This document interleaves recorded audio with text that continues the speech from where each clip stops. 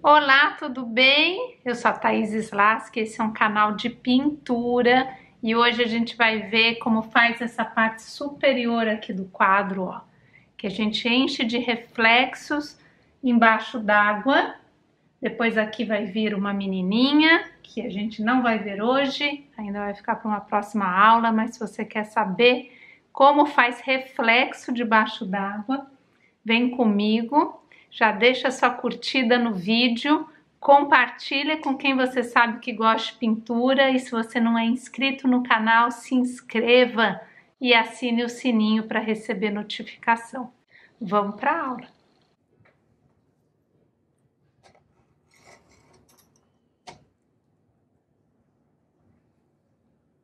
Essa parte aqui, ó, ela tem ela tem um reflexo da tartaruga, das cores da tartaruga e dos corais. Então, eu vou fazer um pouquinho de cores avermelhadas. Na verdade, esse se chama magenta, essa cor, que ela é um vermelho escuro.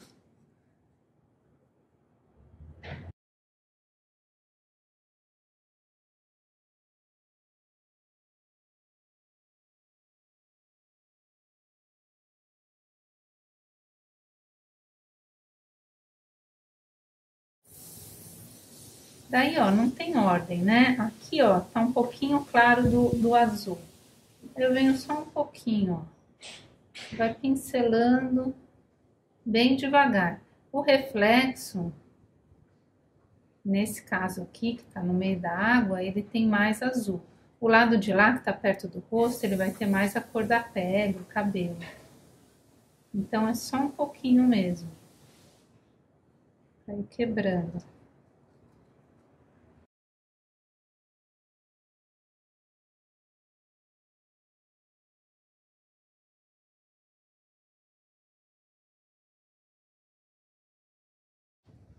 Nessa parte do quadro, ah, o reflexo ele, se, ele vai se misturar mais com os tons de pele e cabelo. Então, aqui, ó, eu fiz uns tons de pele que não necessariamente vai estar igualzinho da menina lá embaixo.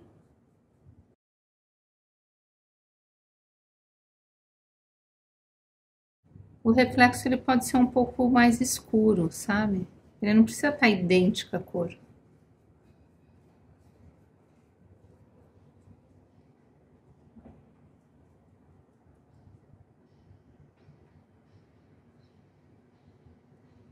Aqui eu vou fazer o castanho do cabelo.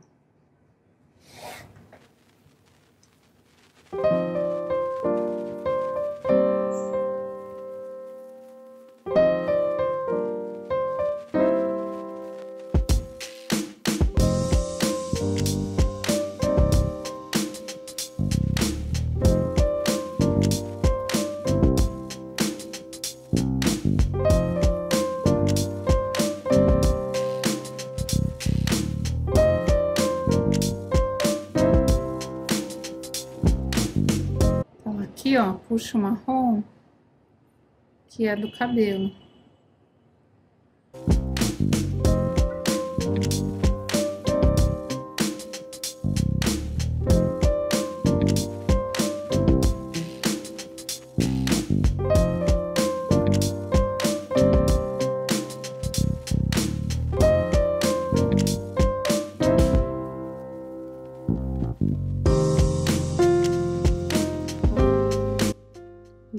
Os eles vão se misturando. Azul com marrom, que é o reflexo do cabelo que tá lá submerso. Com azuis mais escuros, ó. Não pode passar muito pincel, que daí vai ficar tudo uma gororoba. Então tem que passar com cuidado para se misturar, mas não ficar tudo da mesma cor, ter diferença de tom.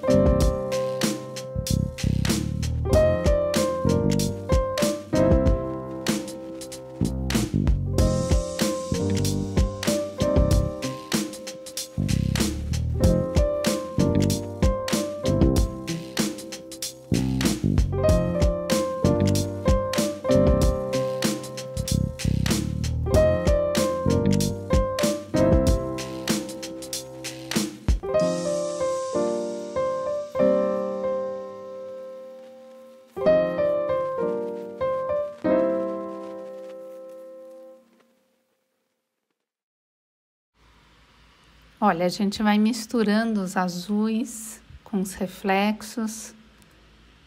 E daí fica também vários tons de azuis, porque conforme vai passando, mesmo que seja o mesmo azul, ao ter contato com outras cores, como marrom, como uma, um mais roxo, ele vai se misturando.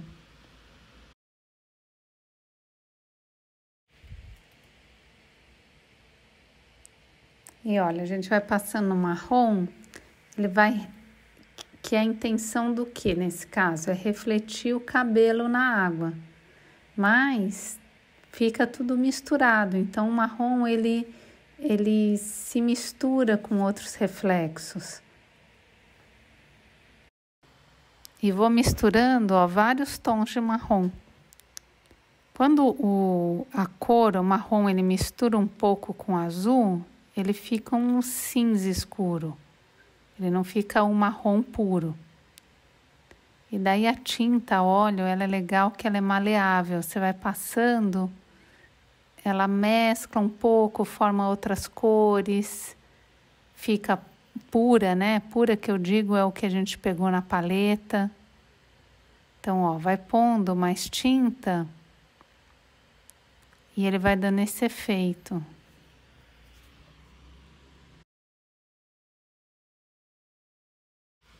E é difícil de acreditar, né, que vai dar certo, porque dá uma impressão estranha. que a gente vai pondo marrom na água e que isso não vai aparecer um reflexo, né? Que vai pondo roxo na água e que não vai dar certo. E pôr, né, tons assim como cinzas, como porque um cinza eu não estou colocando cinza, mas ao misturar com azul, que tem o branco e o marrom, às vezes fica meio acinzentado. Então, quando a gente vai montando o reflexo, ele parece que ele não vai dar certo. E por isso que é legal ir sempre olhando de longe. Daí você, né, dá uns passos, vai pintando o seu quadro dá uns passos para trás e olha o quadro, olha de longe, daí de longe você vai ver que parece o reflexo. E de perto dá uma sensação mesmo de, ah, isso não está dando certo. se você é, se você não tem muito espaço para pintar, se você pensa assim, ah, mas eu, eu pinto num cômodo pequeno, não dá para eu dar um, muito passo para trás que vou bater, sei lá, numa parede, por exemplo. Então, não consigo ver de longe. Você pode pegar o seu celular, tirar uma foto da pintura e daí olhar a foto da pintura. Daí você já vai ter uma sensação de que você está vendo distante.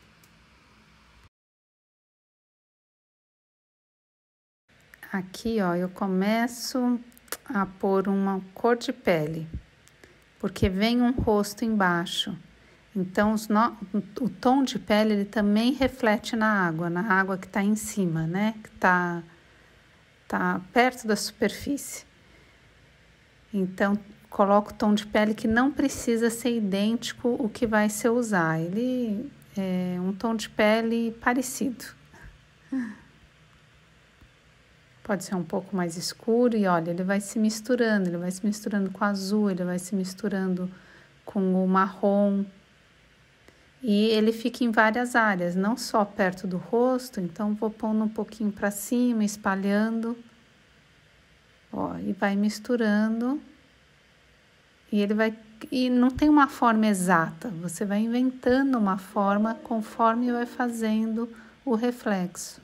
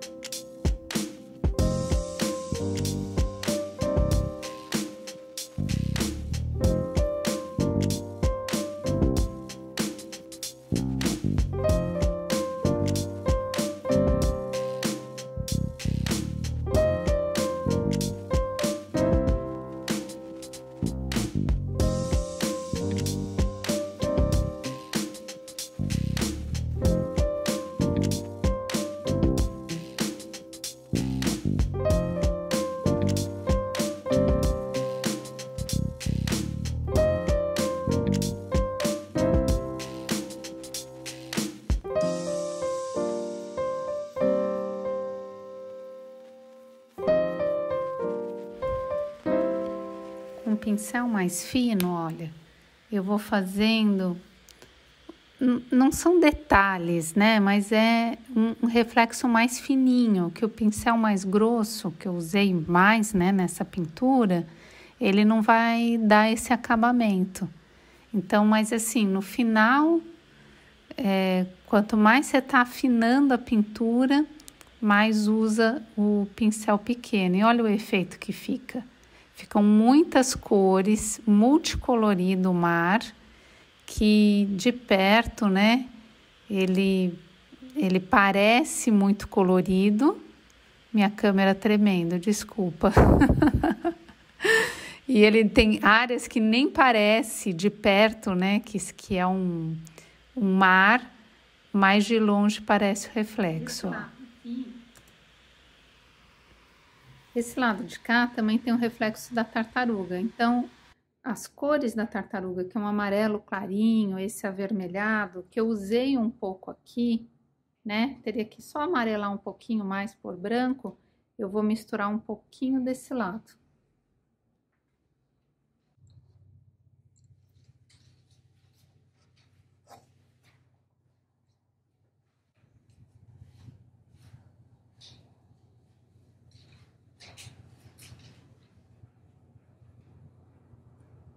Não precisa ser a mesmíssima cor, ó, ela tá um pouquinho mais escura do que é aqui. Mas eu vou vir com ela, bem pouquinho.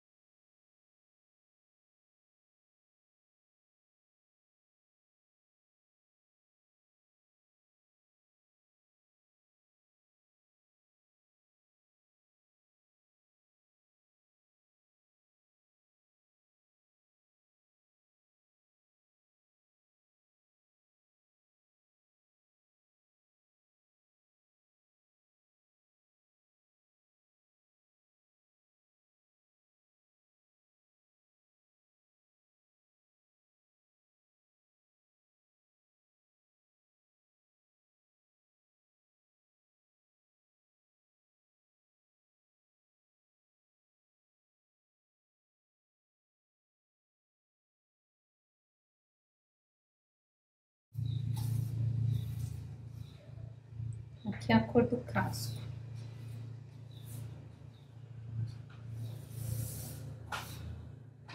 Eu já tinha posto um pouco, né? Só tô reforçando.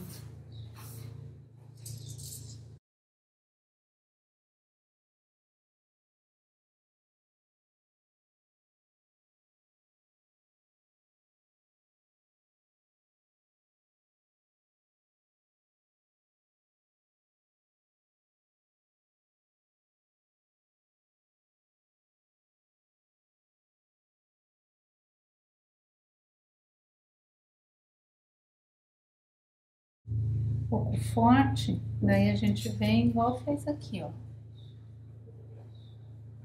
Pega azul, né? Pega um pouquinho do azul venho passando o pincel em cima, tirando a forma dele.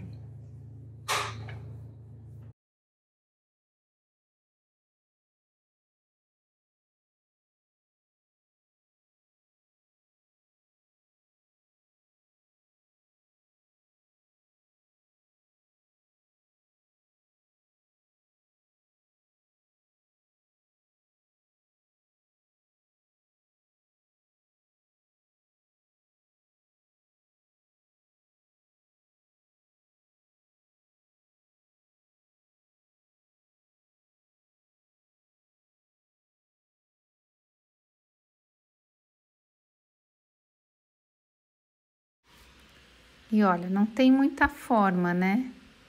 Porque isso daqui são algas, que eu tô mexendo agora. Embaixo, esse laranja, ele, ele é alga. e os reflexos fica misturado, casco da tartaruga, as cores da tartaruga com a água, com o caule, mas ele não é idêntico, né? Porque ele não é a proposta, pelo menos nessa pintura, não é um espelho d'água. Quando é um espelho d'água, a gente tem que desenhar a figura do jeito que está embaixo, em cima espelhada, né? De cabeça para baixo, assim. Seria um espelho. E mais um reflexo misturado, você tem mais liberdade de pintar, porque você vai misturando as cores, não, você não precisa ter uma fidelidade à forma. Então, você vai mexendo, vai misturando, é, vai fazendo a forma meio que intuitiva que você achar que deve fazer e o negócio vai dando certo. Tem que confiar que vai dar certo. E de longe, né? E aquela coisa, vai fazendo teste de olhando de longe e, e acertando. E não tenha medo, eu acho que o maior segredo assim para fazer o reflexo na água é não ter medo de pôr cores que não é o azul né? Que é o azul da água. A gente sempre acha que se está na água tem que ser azul puro, algum tom de azul.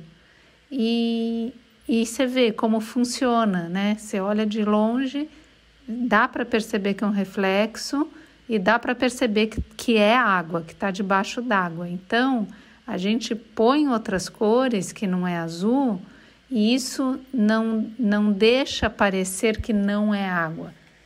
Só que quando a gente começa a pintar, a gente acha que vai é, vai ficar aparecendo outra coisa que não uma que não submerso, né? Mas pode pôr cor diferente que no final dá tudo certo.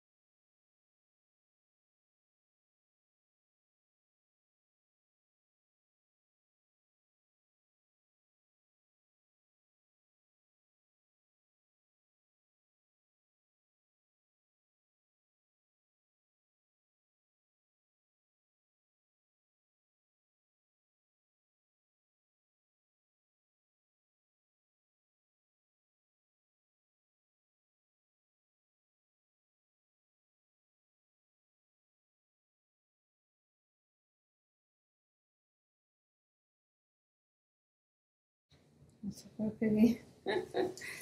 Eu tava pegando o rosa, tava próximo do meu branco, peguei sem querer tanto branco assim. Tudo tem conserto na tinta óleo, viu? Aqui, ó, eu errei. Mas daí é só espalhar a tinta que conserta. E com um pouco de azul. Que já conserta.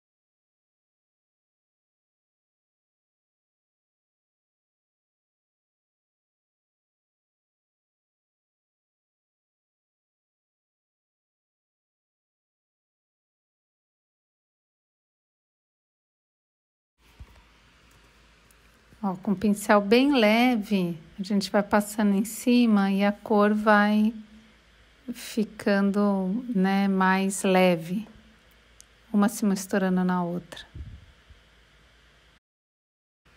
E daí o resto são só detalhes.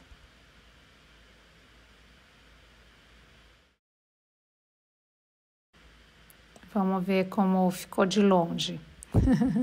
a tartaruguinha, as algas, um pouquinho de reflexo aqui em cima. Ó, daí a gente chega no cabelo, daí os reflexos vão ficando mais fortes, né? E daí mais colorido, que é aquilo que eu falei, dá a impressão que não é água, mas daí a gente olhando de longe. Isso que é legal da pintura, né? De perto fica um multicolorido e daí a gente vai afastando, afastando e as coisas olhando de longe faz sentido, né? Fica fica tudo bem no final. Eu fico por aqui. Se você não deixou seu like, deixa seu like, compartilhe com quem você com quem você sabe que gosta de pintura. Tchau e até o próximo vídeo. Até mais.